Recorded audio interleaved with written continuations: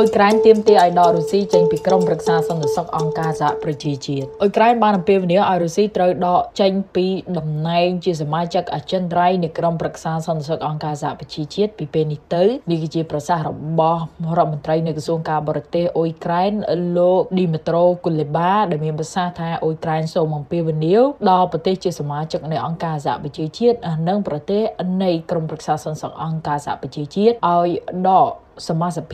នៃអាសនៈដែលខុសច្បាប់កាន់កាប់ឡើងនៅក្រមប្រឹក្សាសន្តិសុខអង្គការសហប្រជាជាតិរបស់រុស្ស៊ីចាប់តាំងពីការបែកបាក់នៃសហភាពសូវៀតក្នុងឆ្នាំ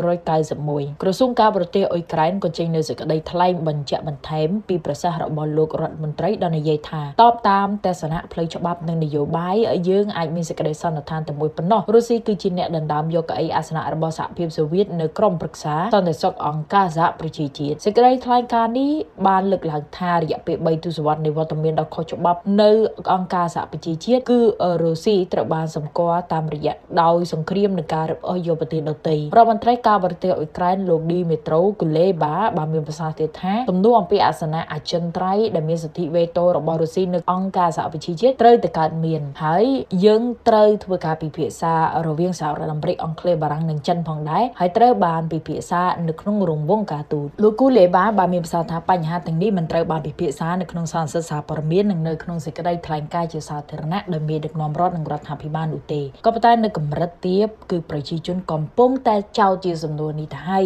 ថាតើរុស្ស៊ីគួរតែត្រូវបានដកចេញពីក្រមប្រឹក្សាសន្តិសុខអង្គការសហប្រជាជាតិទេដើម្បីកុំឲ្យមានការគំរាមកំហែងដល់សន្តិសុខនិងសន្តិភាពពិភពលោកក្រមប្រឹក្សាសន្តិសុខគឺជាអង្គការអន្តរជាតិដ៏មានឥទ្ធិពលបំផុតមានឥទ្ធិពលសឹងតែជាងមហាសន្និបាតទៅទៀតក្រុមនេះគឺមាន15ប្រទេសធ្វើសេចក្តីសម្រេចចិត្តធំធំដោះស្រាយវិបត្តិសកលដោយការអនុម័តនៃការដាក់ទណ្ឌកម្មការអនុញ្ញាតសកម្មភាពយោធានិងអនុម័តនៃការផ្លាស់ប្ដូរទាំងធម្មនុញ្ញរបស់អង្គការសហប្រជាជាតិនិងមន្ត្រីកម្ពុជាកម្ពុជារបស់អង្គការសហប្រជាជាតិទៀតផង5ប្រទេសគឺជាប្រទេសអចិន្ត្រៃយ៍នៃអង្គការសហប្រជាជាតិរួមទាំងរុស្ស៊ីនោះតែម្ដង5ប្រទេសនេះហើយគឺការចេញពីសក្តានុពលនៃអំណាចចុងក្រោយរបស់ពួកគេនៅសង្គ្រាមលោកលើកទី2ប្រទេសជាច្រើនបានទាមទារឲ្យមានកំណែទម្រង់អង្គការសហប្រជាជាតិនេះយូរមកហើយតាំងតែពីវិបត្តិច្រកសមុទ្រតៃវ៉ាន់និងរឿងរ៉ាវនៃកូរ៉េខាងជើងក៏ដូចជាមជ្ឈមបូព៌ាផងដែរមានការរិះគន់អំពីការខ្វះចន្លោះជាច្រើន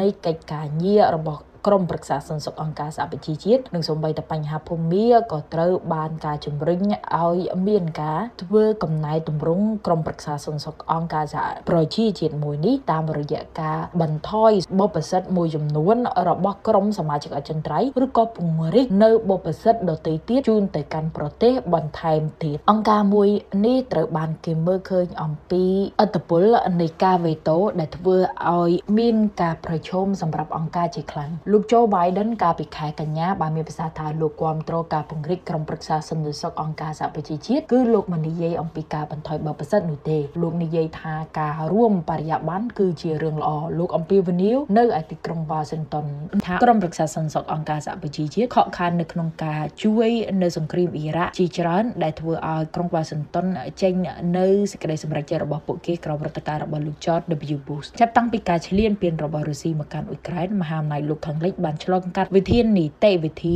របស់អង្គការសហប្រជាជាតិដើម្បីធានាថារុស្ស៊ីមិនអាចរារាំងកិច្ចប្រជុំក្រុមប្រឹក្សាសន្តិសុខអង្គការសហប្រជាជាតិបានក៏ប៉ុន្តែពុំមានអ្វីលើពីនេះតទៅទៀតនោះទេក្រៅតែពីការថ្កោលទោសចេញពីមហាសន្និបាតមួយចំនួនអង្គដែរនោះនៅពេលកន្លងមកផងដែរប្រធានាធិបតីអ៊ុយក្រែនលោក Volodymyr Zelensky ក៏លើកឡើងអំពីបញ្ហារុស្ស៊ីនិងសម្ព័ន្ធមិត្តមួយចំនួនរបស់រុស្ស៊ីហើយតែងតែចោទសួរថាហេតុអ្វីបានជារុស្ស៊ីនៅតែប្រកាន់យកអាសនៈវេតូលើក្រុមប្រឹក្សាសន្តិសុខអង្គការសហប្រជាជាតិបានតទៅទៀតរឿងរ៉ាវនៃក្រុមប្រឹក្សាសន្តិសុខអង្គការសហប្រជាជាតិនេះវាពាក់ព័ន្ធតាំងពីតៃវ៉ាន់តទៅទៀតដែលស្រដៀងនឹងការលើកឡើងរបស់លោកគូលេបាដែលនិយាយថាការផ្លាស់ប្ដូរនៃសហភាពសូវៀតហេតុអ្វីបានជារុស្ស៊ីជាអ្នកកាន់ការកៅអីរបស់សហភាពសូវៀតនៅក្រុមប្រឹក្សាសន្តិសុខអង្គការសហប្រជាជាតិវាដូចជាករណីឆ្នាំ1971ដែលការបោះឆ្នោតមហាសន្និបាតបានផ្ដល់អាសនៈរបស់អង្គការសហប្រជាជាតិដល់ប្រទេសចិនហើយនៅពេលនោះគឺជាការដកអាសនៈរបស់របស់តៃវ៉ាន់ហើយក្រោយមកដែលគឺជាអរិយាប័ត្រនៃការតភ្ជាប់មួយទៀតទៅកាន់ក្រុមប្រឹក្សាសន្តិសុខអង្គការសហប្រជាជាតិនៅក្នុងពេលដោះដូរប្រទេសនេះនៅពេលនេះវាកំពុងតែស្ថិតនៅក្រោមចំណោទសម្រាប់សំណួរអ្នកជំនាញជាច្រើនក៏ដូចជាពីបណ្ដាប្រទេសនានាជាពិសេសក្រុមប្រទេសដែលមានសតិអំណាចខ្ពស់នៅអង្គការសហប្រជាជាតិតែម្ដងថាតើអ្វីទៅជាភាពត្រឹមត្រូវនៃការសម្គាល់ក្រុមប្រឹក្សាសន្តិសុខអង្គការសហប្រជាជាតិនឹងការបោះឆ្នោតបែបណាអត្តសញ្ញាណកម្មរបស់ប្រទេសរុស្ស៊ីជំនួសសហភាពសូវៀតក៏ប៉ុន្តែរឿងនេះគឺជាទំនាស់ប្រវត្តិសាស្ត្រដែលគ្មាននរណាអាចកែប្រែនៅក្នុងធម្មនុញ្ញអង្គការសហប្រជាជាតិរឹងរួចទៅហើយតួយ៉ាងនៅក្រោមធម្មនុញ្ញអង្គការសហប្រជាជាតិមាត្រា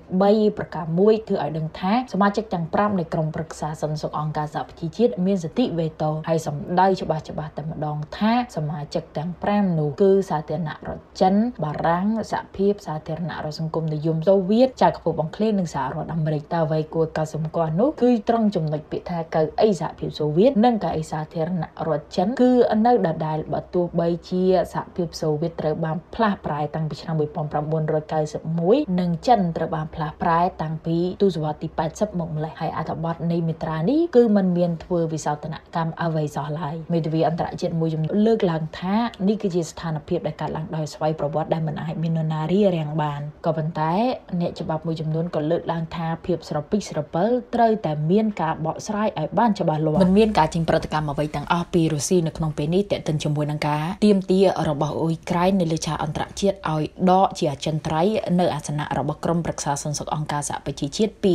រុស្ស៊ីនៅក្នុងពេលនេះក៏ប៉ុន្តែមានការលើកឡើងពីឯកអគ្គរដ្ឋទូតសហរដ្ឋអាមេរិកប្រចាំក្រុមប្រឹក្សាសន្តិសុខអង្គការសហប្រជាជាតិគឺលោកស្រី Linda Thomas Greenfield ដែលបានប្រាប់ទៅកាន់ VOA អន្តរជាតិដោយថាយើងក៏មិនគិតថាសកម្មភាពសពថ្ងៃរបស់រុស្ស៊ីធ្វើឡើងលើអ៊ុយក្រែនគឺវាសមតម្លៃជាប្រទេសមួយដែលជាសមាជិកអចិន្ត្រៃយ៍នៃក្រុមប្រឹក្សាសន្តិសុខអង្គការសហប្រជាជាតិអ្វីនោះទេតែទន្ទឹមគ្នានេះលោកស្រីឯកអគ្គរដ្ឋទូតក៏បានមានប្រសាសន៍ថាយើងក៏មើលទៅមិនមើលឃើញផ្លូវណាមួយដែលអាចទាត់រុស្ស៊ីចេញពីក្រុមប្រឹក្សាសន្តិសុខអង្គការសហប្រជាជាតិបានផងដែរប៉ុន្តែលោកស្រីចង់បន្ថែមថាខ្ញុំក៏មិនគិតថាយើងគួរបោះបង់លទ្ធភាពបើសិនជាឱកាសកំពុងតែបង្ហាញមកហើយនៅក្នុងពេលនេះលោកឌីមីត្រូគីលេបាក៏បានលើកឡើងផងដែរថាលោកក៏សង្ឃឹមយ៉ាងមួមុតថានឹងបើកកិច្ចប្រជុំកម្ពុជាសន្តិភាពបាននៅ ឆ្នាំ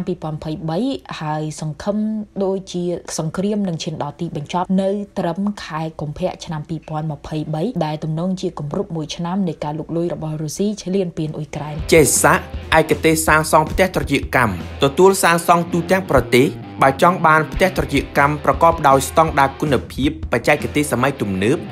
សូមទំនាក់ទំនងតាមលេខ077 27 27 27 095 48 8និង068 80 9